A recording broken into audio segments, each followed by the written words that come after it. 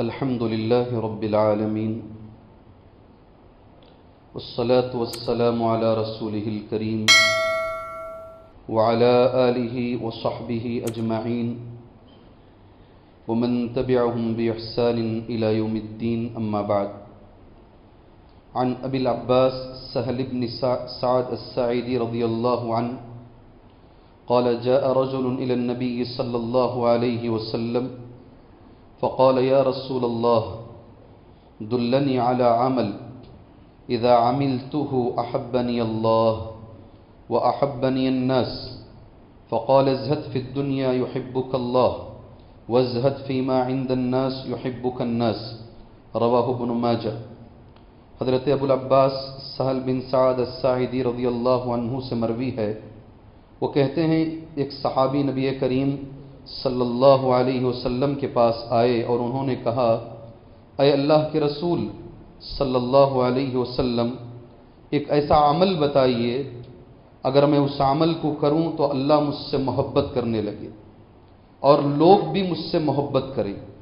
नबी करीम सल्लल्लाहु अलैहि वसल्लम ने फरमाया इजहद फिर दुनिया दुनिया से बेरगबती की ज़िंदगी गुजारो, अल्लाह तुमसे मोहब्बत करेगा। वजहत फ़ीमा इंदन्नस। लोगों के पास क्या है उसे मत देखो, लोग भी तुमसे मोहब्बत करेंगे। इस हदीस को इबन माजा ने सही सनत के साथ बयान किया है। अन अब्दिलमतलब बिन रबिया अनहम तलक अनहु इन तलक हुआ वलफ़लबन अब्बस। इस अलानी रसूल सल्ला वसम लियस्तामिलहुमा अलसदक़ फ़क़ाल इन सदक़ ला तहल्लु मुहम्मद, वला लि आलि मुहम्मद। इन्नमा ही औसाखन्नास रवाह मुस्लिम।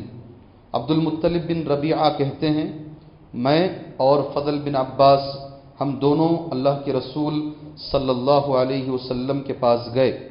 ताकि नबी करीम सल्लल्लाहु अलैहि वसल्लम हम दोनों को ज़क़़त उसूल करने के लिए मुकर्र करें।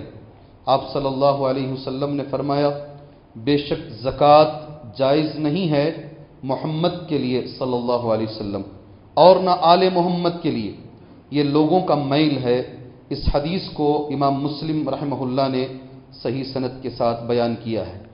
एक हदीस है जो सारी ज़िंदगी भर मुझे और आपको याद रखनी चाहिए। अन हकीम इबन हिज़ाम रज़ी अल्लाह हकीम बिन हिज़ाम रज़ी अल्लाह कहते हैं, अल्लाह के रसूल सल्लल्लाहु अलैहि वसल्लम के पास माल आया। मैंने नबी करीम वसल्लम से सवाल किया, मुझे दीजिए, आपने मुझे दिया। फिर मैंने सवाल किया, फिर आपने दिया।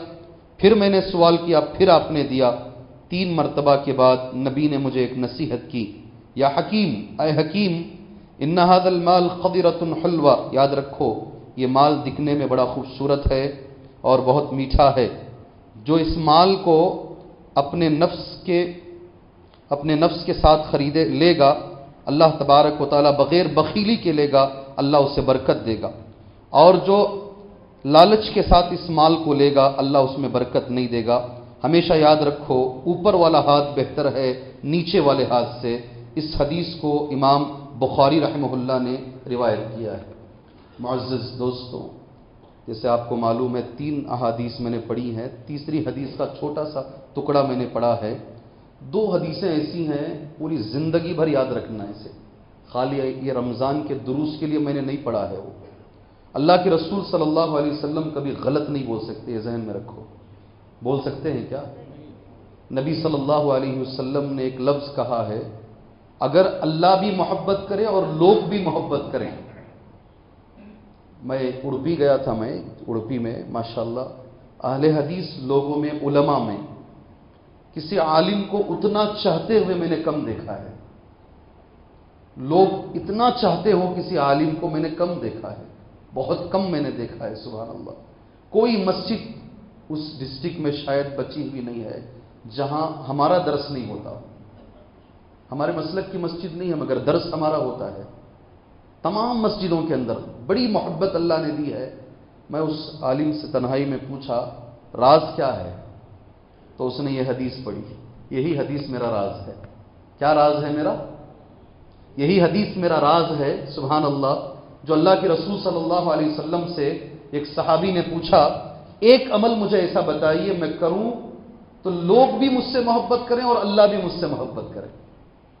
कितनी बड़ी बात है। इसीलिए मैंने कहा, ये जक़ात की हद तक मत रखिए इसे। पूरी ज़िंदगी भर इस हदीस को अपने पास रखकर चलिए इंशाला अल्लाह के रसूल वसल्लम ने फरमाया इज़ हद दुनिया युहिब्बुकल्ला दुनिया की तरफ़ ज़्यादा दिल मत लगाओ, कमाओ, कमाना जायज़ है। मगर सब कुछ दुनिया में घर बनाना ही है, ज़िंदगी में पैदा हुआ हूँ तो बना के ही मरना है, वरना नहीं मरना ऐसे ही। ये मत रखो जहन के अंदर। दुनिया से बेरगबती की ज़िंदगी गुजारो, अल्लाह तुमसे मोहब्बत करेगा। अल्लाह अकबर। एक बात समझ में आ गई। दूसरी चीज़, लोगों के पास क्या है कभी मत देखो। कभी मत देखो। अमल करेंगे? जी, अमल करेंगे। कितनी बड़ी बात है। लोगों के पास क्या है कभी मत निगाह करो। लोग तुमसे मोहब्बत करेंगे। सुबहान अल्लाह नबी करीम सल्लल्लाहु अलैहि वसल्लम की यह हदीस है, अल्लाह मुझे और आपको अल्लाह अमल की तोफ़ी अता फरमाए। फिर तीसरी जो हदीस मैंने पढ़ी, दूसरी नहीं, तीसरी पहले कह देता हूँ। यह हकीम इबन हिजाम है। आपके इल्म में आना चाहिए, हज़रत खतीजा रज़ी अल्लाह तहा की यह रिश्तेदार है। हकीम इबन हिजाम, हज़रत खतीजा रज़ी अल्लाह तहा की यह रिश्तेदार है। अल्लाह के नबी के पास एक मरतबा माल आया, सल्लल्लाहु अलैहि वसल्लम। इन्होंने सवाल किया एक बार, नबी ने दिया। फिर दूसरी मरतबा पूछा, फिर दिया। तीसरी मरतबा पूछा, फिर नबी ने दिया। तीन मरतबा के बाद अल्लाह के रसूल वसल्लम ये नसीहत किए हकीम इबन हिजाम को। उस पर कैसा अमल किए मालूम हकीम इबन हिजाम? अल्लाह के रसूल ने फरमाया, सल्लल्लाहु अलैहि वसल्लम, सुनो जी हकीम, याद रखो, ये माल दिखने में बड़ा अच्छा है, बड़ा सरसब्जो शादाब है। और मीठा भी लगता है। अगर कोई इंसान इसे अपने दिल में लालच रखे बगैर, अपने दिल में लालच रखे बगैर अगर इसे लेगा, अल्लाह उसमें बरकत देगा। अल्लाह ऐसे ही दे दिए, पूछे नहीं, अल्लाह बरकत देगा। अगर लालच के साथ और चाहिए और चाहिए, अगर कोई लेगा, अल्लाह बरकत नहीं देगा उसमें।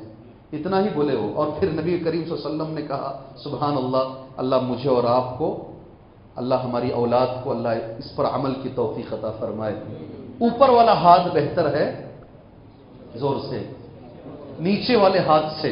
बड़ी अच्छा यही इनको ही कहा नबी ने। अलियदुलया खैर अलियद सुफला हमेशा देने वाले बनो, लेने वाले मत बनो सुबहान अल्लाह आप क्या दे रहे हो, ये बहुत ज़रूरी है दुनिया को सुबहान अल्लाह फिर उसके बाद अल्लाह के रसूल सल्लल्लाहु अलैहि वसल्लम फरमाते, जो दुनिया में बचना चाहेगा, अल्लाह उसे बचाएगा। कि नहीं, मैं लोगों से नहीं मांगूँगा इंशाला ये नीयत करके ज़िंदगी गुजारेगा, अल्लाह वो ज़िंदगी उसे अता फरमाएगा। इतना बोलना था, हकीम इबन हिजाम के बारे में आता है, उन्होंने उस दिन इरादा किया। बुखारी की हदीस है, आज के बाद मैं किसी से नहीं मांगूँगा। अल्लाह के नबी वसल्लम जब तक ज़िंदा थे, वो नहीं मांगे। नबी करीम वसल्लम का इंतकाल हुआ, अबू बकर सिद्दीक आए, खलीफा बने। इनका जो हक मिलता था, वो हक इनको देने की कोशिश किए, कहा, नहीं लूँगा।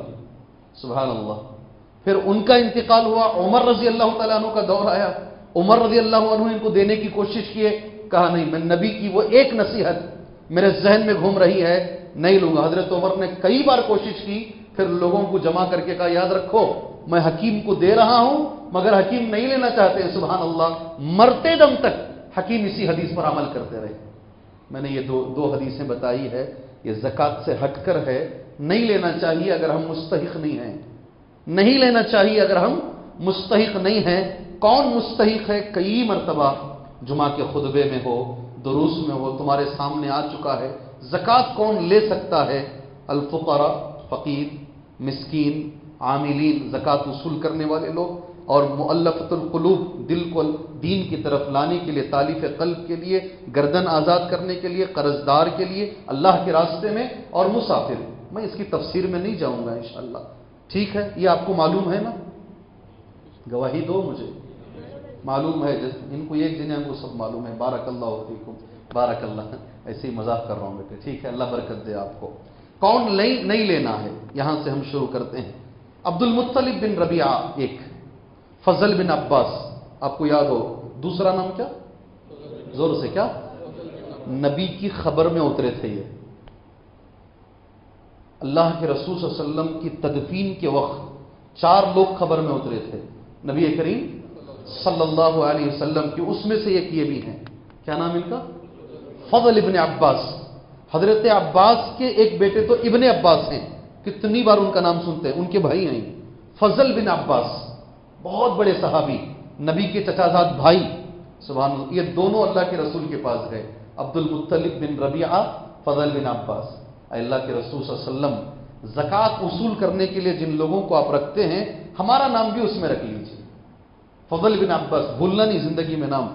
बहुत इनका नाम आता, आखिरी में बीमार हुए।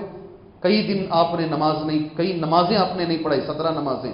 फिर जब आप आए मस्जिद में, एक हाथ इन्हीं के ऊपर था। इन्हीं को टेक लगाकर आप मस्जिद के अंदर आए, फजल बिन अब्बास। बहुत अहम है, ये साहबी हमारे दीन के अंदर। दोनों आए, फजल बिन अब्बास अब्दुल मुत्तलिब बिन रबिया हमें बना दीजिए अल्लाह के नबी वसल्लम। आप सल्लल्लाु अलैहि वसल्लम ने उनको एक हदीस कहा कहा, सदका, जक़ात जो है, मोहम्मद के लिए और आले मोहम्मद के लिए जायज़ नहीं है। ये एक नाम मालूम होगा, किसे नहीं दे सकते? बोलो भाई। मोहम्मद सल्लल्लाहु अलैहि वसल्लम और आले मोहम्मद। और आज मैं एक लफ्ज कहूँगा, आप जरा ये होंगे, सैयद साहब कौन? बड़े मजलूम हैं ये सैयद साहब। बड़े मजलूम हैं सैयद साहब। सैयद को कहते हैं कि ये मोहम्मद सल्लल्लाहु अलैहि वसल्लम के खानदान के हैं। अल्लाह आलम बिस्सवाब। अल्लाह बेहतर जानता है। अगर किसी के पास फैमिली ट्री है, शजर नसब है, अल्हम्दुलिल्लाह। ऐसे ही किसी ने नाम रख दिया है, वो नबी के खानदान तक नहीं जाता है। इसलिए कि अरब के अंदर आज भी, सऊदी अरब के अंदर बाप के नाम के बगैर नाम नहीं लिया जाता है। बाप तो बाप खानदान के नाम के बगैर नाम नहीं लिया जाता। कितने हम में से मौजूद हैं, सुबैस साहब बोलते हैं। क्या बोलते हैं? क्या बोलते हैं? ये उनका खानदान है। उनका नाम क्या है? अब्दुल रहमान शुरैम साहब बोलते हैं। उनका उनका ये खानदान, उनका नाम क्या है? जो मक्के के मशहूर इमाम हैं, उनका नाम क्या है? शुरैम साहब। बोलो। नाम क्या है उनका? सऊद शुरैम सऊद, आज भी उनके पास बाप का नाम, खानदान का नाम बड़ी अहमियत से लिया जाता है। नसब उनके पास मेंटेन होता है। इनके बाद इनके बाद। अल्लाह का मैं शुक्रिया अदा करता हूँ। दो या तीन मरतबा। अल्हम्दुलिल्लाह, हज़रत अबू बकर सिद्दीक, हज़रत अबू हुरेरा रज़ी अल्लाह तु के ख़ानदान के लोगों से अल्लाह ने मदीन मुनवरा में मुलाकात कराया है।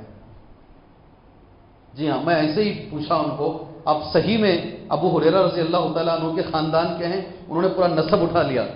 सुबह अल्लाह मस्जिद नबवी के पास जो कमरे बने हुए रहते हैं, उन कमरों में वो बैठते थे माशा हमारे जो पीएचडी बच्चे पढ़ रहे मदीने में, वो ले जा करके मुझे मुलाकात कराए। अबू हुरेरा रज़ी अल्लाह तु के ख़ानदान के हैं, वो ख़ानदान मेंटेन होता है उनके पास। हमारे पास उतना मेंटेन नहीं, तुम्हारा नाम क्या, अब्बा का नाम क्या? कितने बच्चे, दादा का नाम नहीं मालूम। कितने बच्चे हैं, नाना का नाम नहीं मालूम है।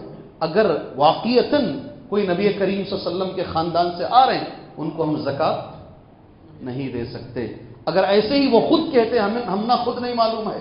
सुबहान अल्लाह आप उन तक जक़ात ज़रूर पहुंचाइए, बेचारे को मजलूम ना कीजिए। पहले नंबर पर ये लोग आते हैं, दूसरे नंबर पर। गैर मुस्लिम को जक़ात नहीं दे सकते। किसको? याद रखो, कंपनियाँ में काम करने वाले अक्सर ऐसा करते हैं। बोनस के चक्कर में जक़ात मिला के, गैर मुस्लिम को मिला के दे देते हैं।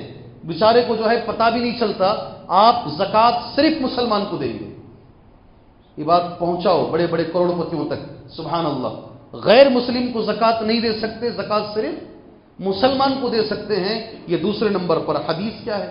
अल्लाह के रसूल सल्लल्लाहु अलैहि वसल्लम ने हज़रत मुआज से कहा अरे मुआज, यमन जा रहे हो तुम, याद रखो उनसे कहो, अल्लाह ने जक़ात फ़र्ज़ किया है ये जक़ात मुसलमानों के मालदारों से ली जाएगी, मुसलमानों के गरीबों पे बांटी जाएगी। कहाँ से ली जाएगी? मुसलमानों के मालदारों से ली जाएगी, मुसलमानों के गरीबों पर। उन्हीं के मालदार और उन्हीं के गरीब। कितने लोग आए? दो लोग आए। तीसरे नंबर पर सुबहान अल्लाह जो हट्टा कट्टा है, ये मेरा लफ्ज नहीं, हदीस का लफ्ज। हाथ पैर सही सालिम।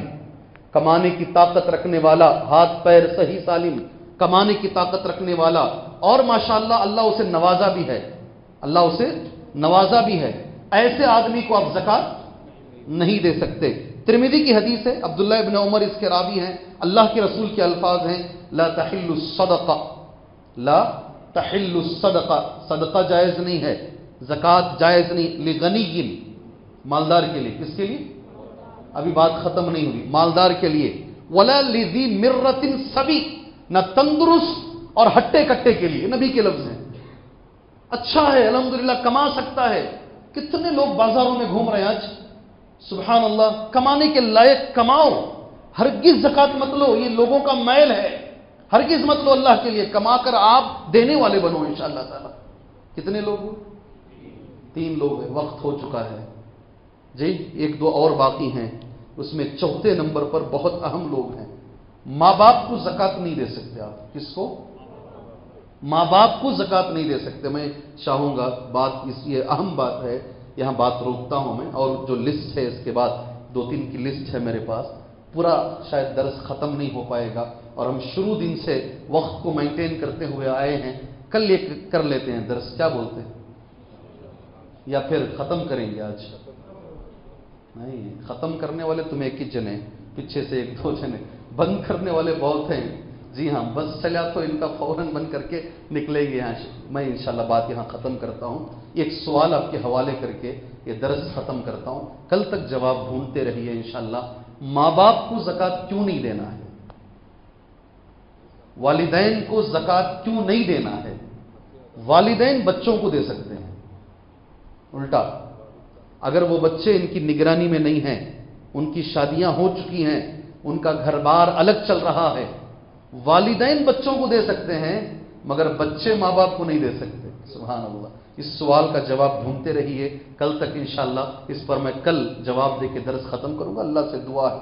अल्लाह अज्ज वजल हमारे वालदेन का हक हमें अदा करने की तोफ़ी अता फरमाए। जो अहादीस हमने सुनी है, अल्लाह उस पर हमें अमल की तोफ़ी अता फरमाए। आमीन। वसल्ला नबील करीम। अल्लाम वरहमल वर्का